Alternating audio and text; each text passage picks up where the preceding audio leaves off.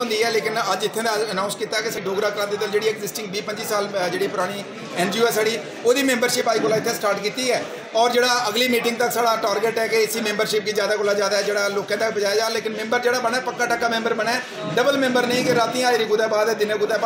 NGO ਦਾ ਮਤਲਬ ਇਸ membership ਦਾ ਮਤਲਬ ਹੈ ਕਿ ਪੂਰੇ ਪੱਕੇ ਤਰੀਕੇ ਕਨੇ ਜਿਹੜਾ ਪਾਲਿਸੀ ਪ੍ਰੋਗਰਾਮ ਹੈ ਉਸੇ ਪਰ ਚੱਲਣਾ ਉਹਦਾ ਬਾਹਰ ਨਹੀਂ ਚੱਲਣਾ ਹੈ ਔਰ ਇਹ ਅੱਜ ਮੈਂਬਰਸ਼ਿਪ ਹੋਈ ਹੈ ਔਰ ਦੂਆ ਇੱਥੇ ਦਾ ਸਾਫ ਸਿੱਧਾ ਸੁਨੇਹਾ ਸਾਰੇ ਸਾਥੀਆਂ ਦਿੱਤਾ ਕਿ ਕਿਸੇ ਵੀ ਸਾਥੀ की प्रशासनिक लेवल पर सरकारी लेवल पर खुदा मुश्किलात आती है बशर्ते को मैंबर चाहिए है इं सुक्का नहीं कि वो फल- फलानी पार्टी का मैंबर है ਇਥਾਂ ਫੋਨ ਸਾਡੇ ਕੋਲ ਕਰਾਣਾ ਕੋਈ ਮਸਲਾ ਨਹੀਂ ਹੈ। ਇਹ ਕਲੀਅਰ ਕੱਟ ਪਾਲਸੀ ਹੈ ਕਿ ਜਿਹੜਾ ਇਸ ਆਰਗੇਨਾਈਜੇਸ਼ਨ ਦਾ ਪੂਰੇ ਪ੍ਰਕਿਰਿਆ ਤਰੀਕੇ ਨਾਲ ਮੈਂਬਰ ਬੰਦਾ, ਉਹ ਲਈ ਮੈਂਬਰ ਬੰਦਾ, ਉਸੇ ਕੋਈ ਸਮੱਸਿਆ ਆਉਂਦੀ ਹੈ, ਪੂਰੀ ਦੀ ਪੂਰੀ ਟੀਮ ਜਿੱਲੇ ਵੀ ਉਹ ਚਾਹਦਾ ਉਹਦੇ ਕੰਨਾ ਖਲੋਤੀ ਦੀ ਹੈ। ਲੇਕਿਨ ਜਿਹੜਾ ਆਦਾ ਕਿ ਨਹੀਂ ਮਾਰੇ ਦਿਨੇ ਨਹੀਂ ਤੁਹਾਡੇ ਦਫ਼ਤਰ ਹੁੰਦਾ, ਰਾਤੀ 12 ਵਜੇ ਬਾਅਦ ਆਊਗਾ, ਉਹਨੇ ਲੋਕਾਂ ਇਹ ਜ਼ਰੂਰਤ ਨਹੀਂ ਹੈ। ਜਿਹੜਾ ਓਪਨ ਚਲੀ ਸਕਦਾ, ਸਾਡਾ ਕੰਨਾ ਓਪਨ ਚੱਲਾ ਜਿਹੜਾ ਨਹੀਂ ਚਲੀ ਸਕਦਾ, ਉਹਦੀ ਜ਼ਰੂਰਤ ਨਹੀਂ ਹੈ। ਲੇਕਿਨ ਜਿਹੜਾ ਚੱਲੇਗਾ, ਉਸੇ ਕੁਸਲੇ ਵੀ ਆਫਤ ਆਊਗਾ, ਤਾਂ ਸਾਡੀ ਪੂਰੀ ਟੀਮ ਜਿਹੜੀ ਹੈ, ਉਹਦੇ ਕੰਨਾ ਸ਼ਾਨਾ ਬਿਸ਼ਾਨਾ ਖਲੋਤੀ ਦੀ ਰਹੋ। ਸਰ ਸ਼ਹਿਰ ਦੇ ਅੰਦਰ ਇਹ ਅਫਸਰ ਕੁਝ ਐਸੀ ऐसी हुई थी कि जिन्हें लोग दुकानदार परेशान रेडी वाले परेशान फड़ी वाले परेशान तो सर क्या आखना चाहते हो तो सर ਐਕਚੁਅਲੀ ਇਹ ਸਾਰੇ ਲੋਕੀ ਐਸੇ ਬਾਰ-ਬਾਰ ਰੱਖਿਆ ਕਿ ਆਪੋਜੀਸ਼ਨ ਮਜ਼ਬੂਤ ਰੱਖੋ ਉਹਲੇ ਜਿਹੜਾ ਡੀਡੀਸੀ ਦਾ ਚੁਣਾਵ ਹੋਇਆ ਬੀਡੀਸੀ ਦਾ ਆਇਆ ਮਿਊਨਿਸਪਲ